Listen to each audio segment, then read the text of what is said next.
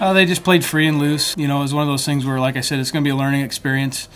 We know that we have to play a little bit better defense and can't give up opportunities. Uh, they took took advantage of a couple of opportunities, but uh, um, you know they weren't overwhelmed with the situation or the environment or the, the game at all. They just played the way they've been playing all year long.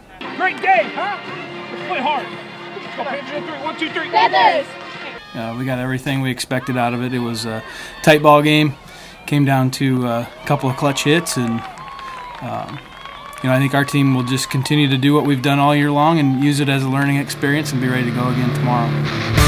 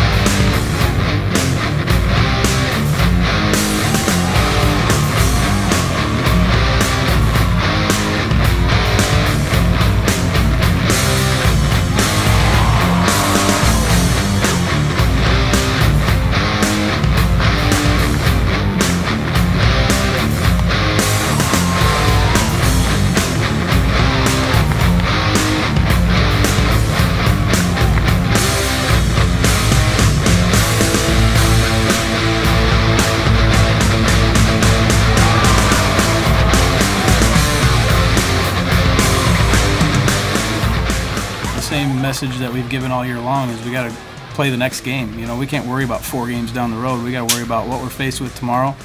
We've got another great team against Tulsa tomorrow, and uh, we just come out and it's a new day. That's the way we've been doing it all year long, so we're not going to change anything now.